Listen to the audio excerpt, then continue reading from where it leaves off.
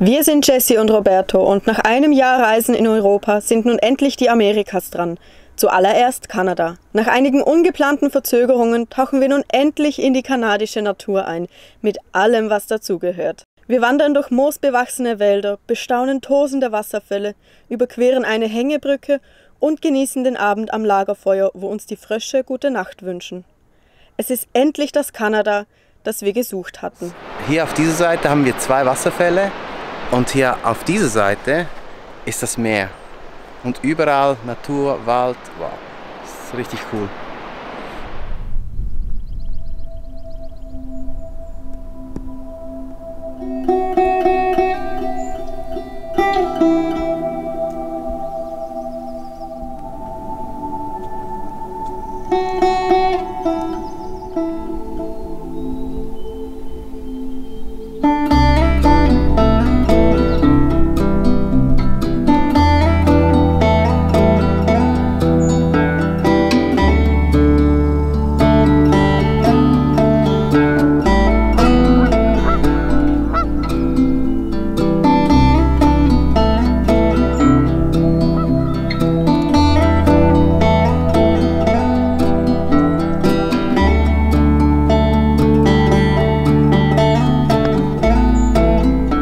Guten Morgen und damit willkommen zu diesem neuen Vlog. Wir sind heute früh in dieser traumhaften Natur aufgewacht. Mit Vogelgezwitscher und Entengackern und sonst nichts. Also es war wirklich traumhaft. Hier oben steht Jimmy. Und ja, wir stehen in der Nähe des Fundy National Park. Und den wollen wir uns heute ein bisschen ansehen. Da soll die Natur ja noch mal schöner sein. Also freuen wir uns schon.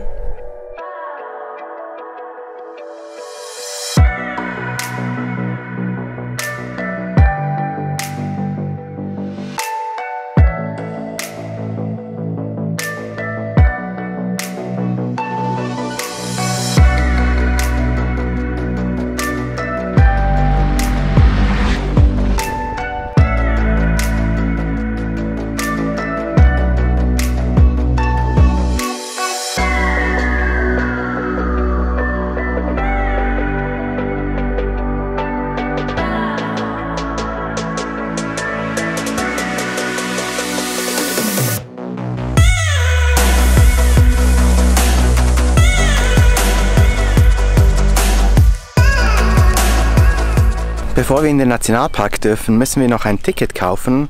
Und ja, wir haben uns jetzt entschieden, ein Jahresabo für alle Nationalparks hier in Kanada zu lösen, denn zusammengerechnet kommt das günstiger, als wenn man überall nur einzelne Tickets kauft. Ja, das machen wir jetzt mal.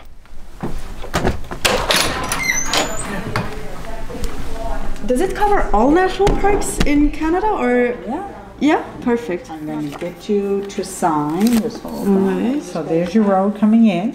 There's your covered bridge. Yeah, Thank have a you. good Until day. Next time you do. Thank Okay. you. Bye bye. Bye. Wir haben unsere Jahrespässe. Wuhu. Und jetzt können wir alle Nationalparks besuchen und ja, richtig in die Natur eintauchen. Aber jetzt fangen wir erstmal hier bei Fundy National Park an.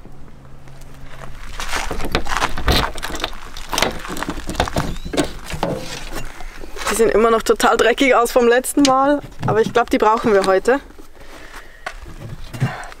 Also deine sind besonders dreckig.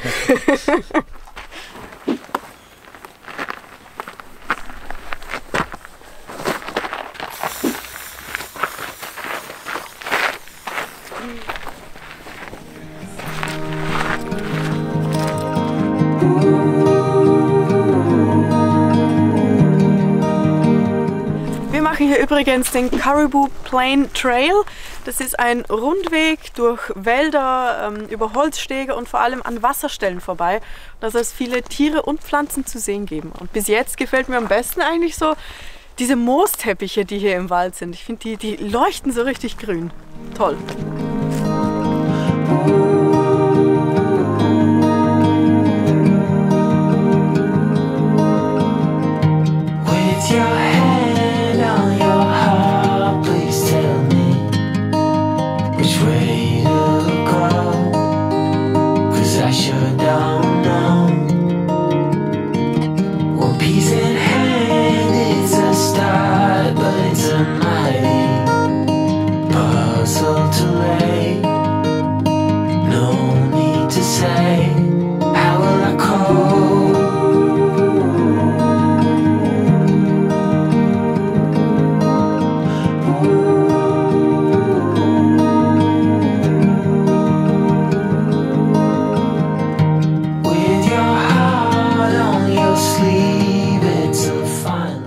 Muss schon sagen, die Nationalparks hier in Kanada, die sind so gut erhalten. Äh, Die legen so viel darauf Wert, dass alles blitzeblank ist. Also Das ist unglaublich. Auch mit diesen Stegs, dass man so richtig nach vorne zum Wasser laufen kann. Ja, richtig schön. Und anscheinend soll es hier Biber geben und was noch? Elche? Elche, ja. Elche? Haben wir noch beides nicht gesehen. Dafür hunderte von, von Eichhörnchen. Also, ja, mal schauen, ob wir die Biber und die Elche sehen.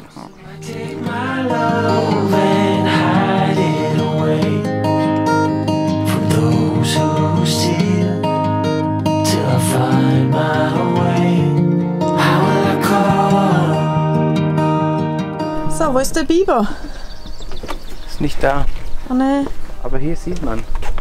Ah, ein Karibu. Der Kadibu, der sollte hier sein. Ich glaube, der schwimmt hier. Wahrscheinlich.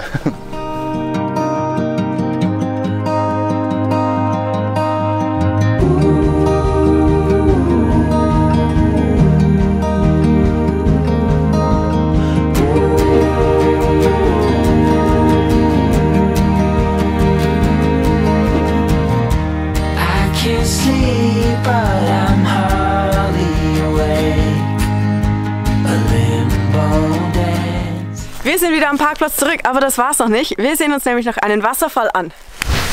Und da sind wir auch schon bei Dixon Falls. Es ist richtig laut hier, aber entsprechend auch richtig schön.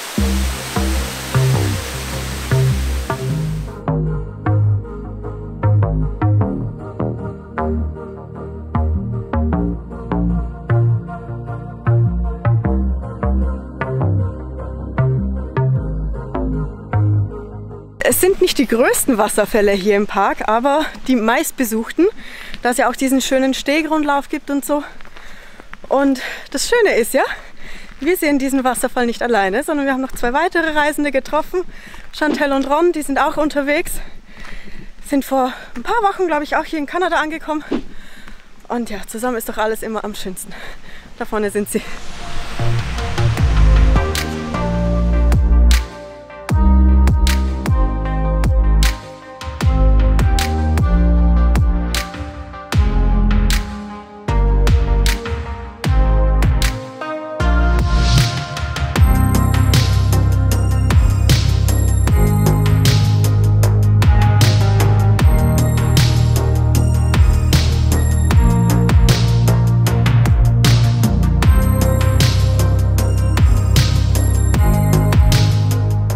Wir sind wieder beim Van. Wir, Und die Mücken auch. wir sind ein bisschen abgelenkt gewesen, darum gab es jetzt nicht so viele Aufnahmen. Wir, ja, ihr wisst ja, wenn wir mit anderen unterwegs sind, dann ja, vergessen wir manchmal das Film, aber es ist umso schöner. Und wir haben uns jetzt spontan auch entschieden, nochmal einen Trail zu gehen. Ja, Wie einen kleinen, ich weiß nicht, wie er heißt. Okay, aber er soll schön sein. Also gehen wir da noch hin.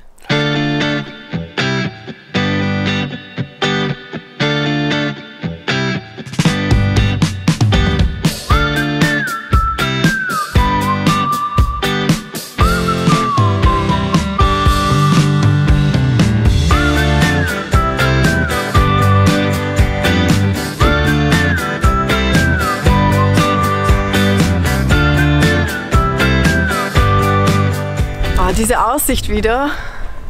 Wahnsinn.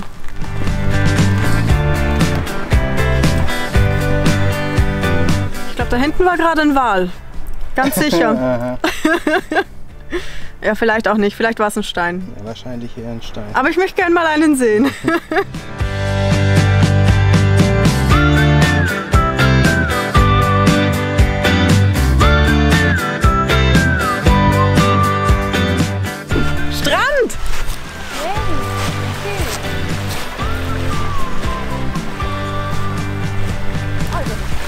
kalt? Naja, es geht. Aber ich gehe trotzdem nicht baden.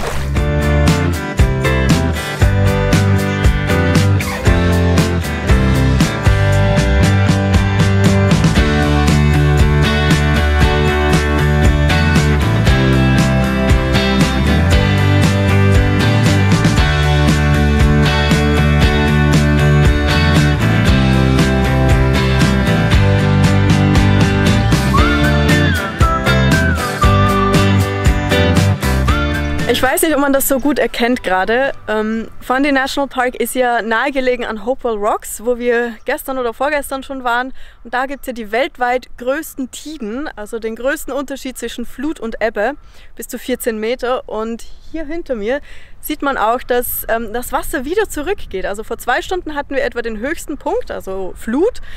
Und da sieht man jetzt auch die Linien von den Algen an, an dem Strand, wo das Wasser war und bis wohin das runtergeht. Und auch so an den Küsten ähm, entlang, so die schwarzen Steine, die vor kurzem noch unter Wasser waren. Sehr interessant, das wieder auch hier so zu, zu beobachten. Ach, das war nochmal richtig schön jetzt. Auch gerade mit dem Strand, der war ja, glaube ich, eigentlich, Überhaupt nicht so eingeplant. ja, der war nicht eingeplant, aber war richtig schön. Und ich weiß nicht, ob man es gesehen hat, aber da war auch ein Weißkopfadler. Richtig cool. Ich glaube schon. Doch, ich, ich behaupte einfach, das war einer. Ähm, ja, aber ich glaube, damit ist jetzt ein ereignisreicher Tag mal langsam zu Ende. Ähm, wir haben uns natürlich sehr gefreut, die beiden kennenzulernen und mit ihnen auch da diese Touren zusammen zu machen. Sind zwei richtig sympathische. Äh, für uns geht es jetzt aber langsam mal an den Schlafplatz und Ja, wir Ja. sehen uns dort. wir sehen uns da wieder. Wir sind an unserem Schlafplatz angekommen. Ihr kennt den ja schon. Wir haben hier auch wieder mit dem Stein nachhelfen müssen. Aber ja, der Platz ist ja einfach traumhaft. Und heute möchten wir auch endlich das Feuerholz nutzen, das wir vor ein paar Tagen gekauft haben. Und die Feuerstelle hier. Und ja, vielleicht machen wir noch Schlangenbrot oder sowas. Aber es ist einfach traumhaft hier.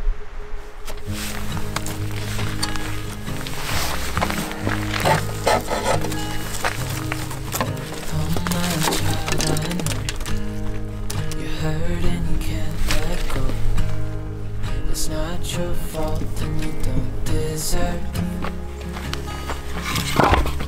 all the bad and the hurt.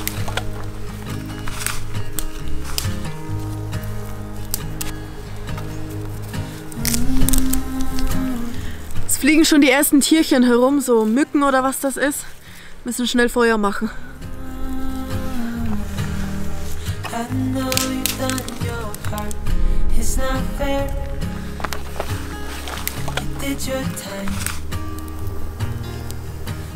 Irgendwie brennt es nur von dieser Seite hier richtig. Da drüben raucht es nur, aber ja, ich hoffe, das Feuer breitet sich dann noch ein bisschen aus. Auf jeden Fall sitzen wir sehr gerne im Rauch, denn das soll ja die Mücken abhalten, wenn wir nach Rauch riechen.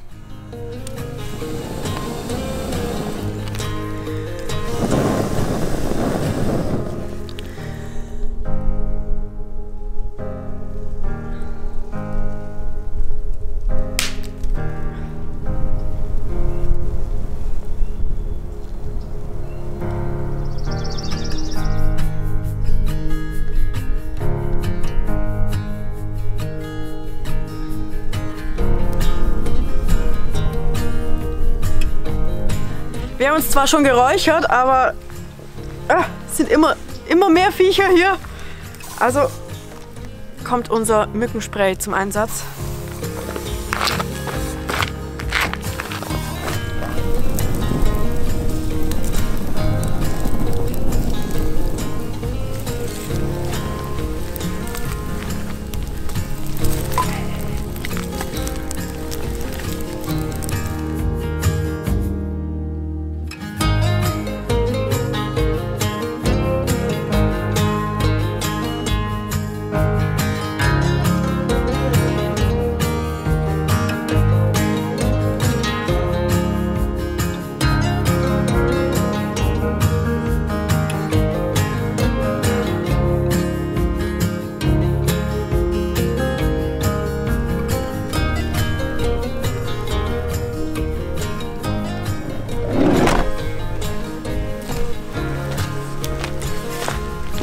Wir haben ein richtig schönes Feuer mit einer wunderschönen Aussicht.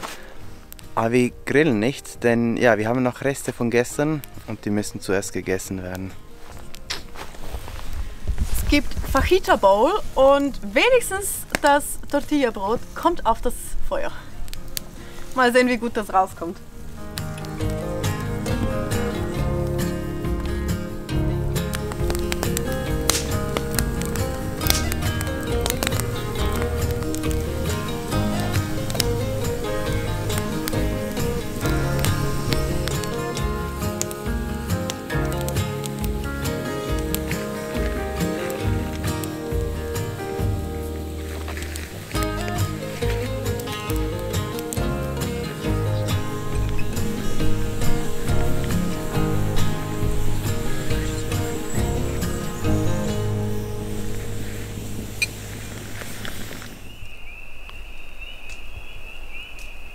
Hört ihr das? Das sind Frösche. Uns wurde gesagt, dass ja, während der Dämmerung und am Abend da die Frösche rauskommen und so richtig laut piepsen. Also es ist unglaublich, wie laut und wie viele das sind. Ich hoffe, wir können überhaupt noch einschlafen heute Abend, aber ja, ist schon cool hier. Wir sind ganz alleine, es ist unglaublich. So hatten wir uns das vorgestellt. Aber jetzt legen wir die Kamera auf die Seite. Jessie ist fleißig am Holz sammeln. da ist sie. Und ja, wir genießen unser erstes Lagerfeuer hier in Kanada und wir sehen uns morgen. Wir sind wieder unterwegs. Früher als erwartet. Und ganz spontan Ja. beim Fundy Trail Parkway. Genau. Wir sind eigentlich unterwegs in eine Stadt nach St. John, aber das hier haben wir jetzt um, unterwegs noch gefunden, Oh ja. also machen wir das. Und wir sind nicht alleine, sondern wir haben wieder ähm, Ron und Chantel getroffen. Ja. Und ja, mit denen besuchen wir jetzt ein paar Sachen hier. Und wir starten mit einer Schlucht. Genau.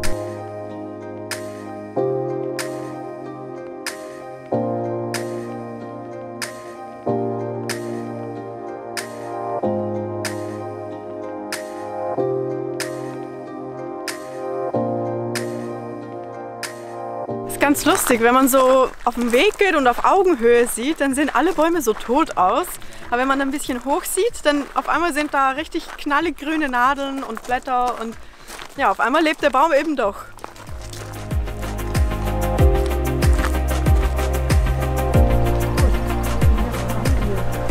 Aber es sieht schon beeindruckend aus. Ja, richtig schön. Ich weiß gar nicht wohin, erst gucken. Ja. Boah, krass. Boah.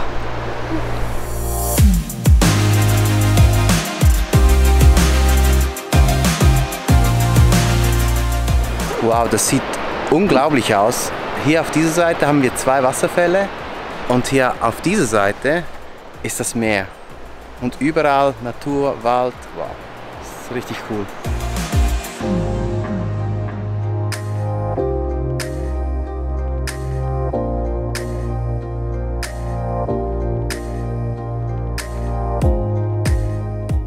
Zurück im Van und wir fahren jetzt zu einem Lookout, der uns empfohlen wurde. Und wir sind wieder nicht alleine. ja, sie kommen auch mit und wir sehen uns gleich dort.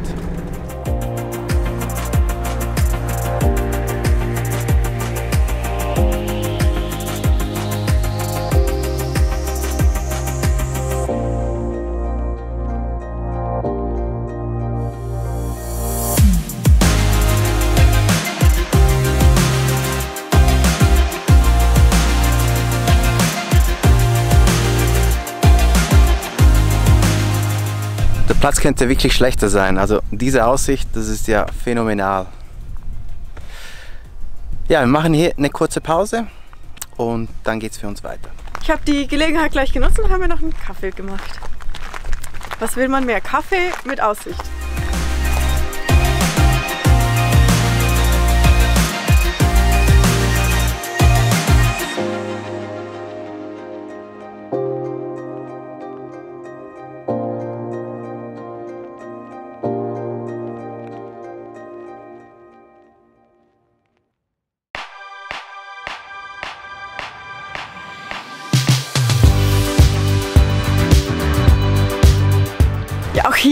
Wieder so, dass man eigentlich mit dem Auto von Punkt zu Punkt fährt und da macht man so kleine Spaziergänge und sieht sich was an. Jetzt sind wir am nächsten Punkt, nämlich an der Hängebrücke. Die wurde uns im Visitor Center, wo wir nachgefragt haben, empfohlen. Naja, und dann nehmen wir die natürlich auch gleich mit. So.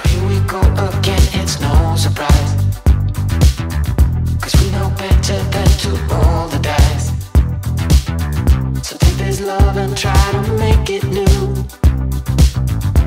You can't fight it when it feels so true. You drive me crazy like no one else. Also zum Glück war diese Brücke nicht so hoch.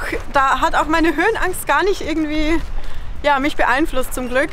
Aber das Wackeln ist schon ein bisschen unangenehm. Come on over, we can make it through.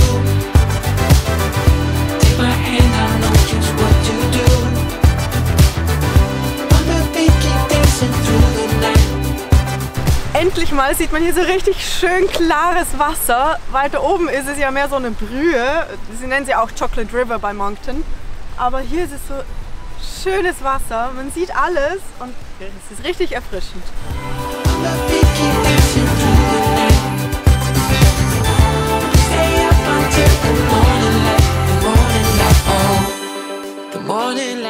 Es sind schon alle ziemlich platt, aber ich will jetzt den Wasserfall anschauen.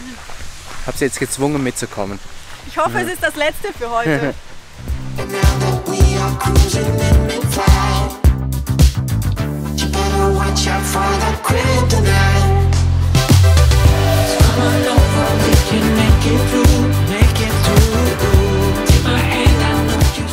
So ich glaube, das war's für heute.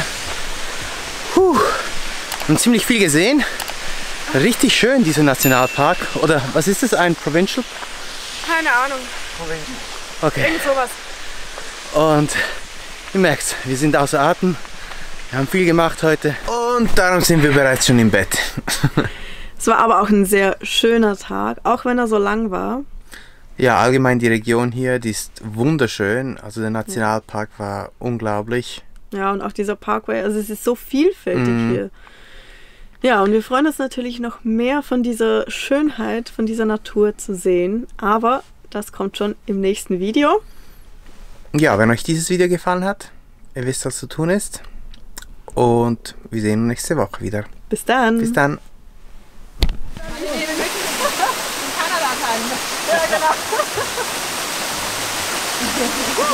Oh nein! Das noch.